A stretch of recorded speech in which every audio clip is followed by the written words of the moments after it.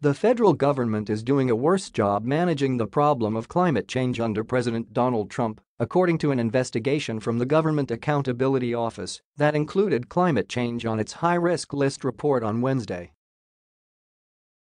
This year's high-risk list is a 293-page assessment of the threats facing the federal government, including such matters as cybersecurity and problems at the Department of Veterans Affairs.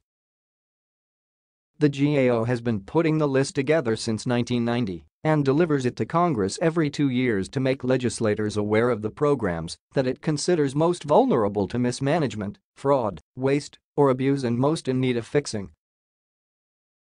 Testifying Wednesday before the Senate Appropriations Homeland Security Subcommittee, GAO Comptroller General Eugene Lewis Dodaro said that of the many areas that need improvement, three areas have actually regressed, and limiting the federal government's fiscal exposure by better managing climate change risks is one of them. Also in that category were the Environmental Protection Agency's process for assessing and controlling toxic chemicals in NASA acquisition management because the government has revoked policies that had partially addressed climate change and has not taken steps recommended in previous reports, this high-risk area requires significant attention, the new report says.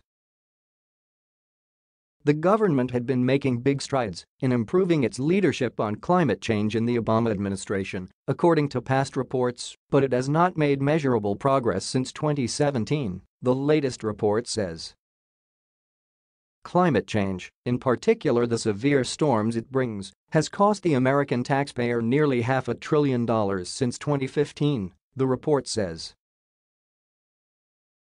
The last several years have been some of the most costly in U.S. history, Dodaro said.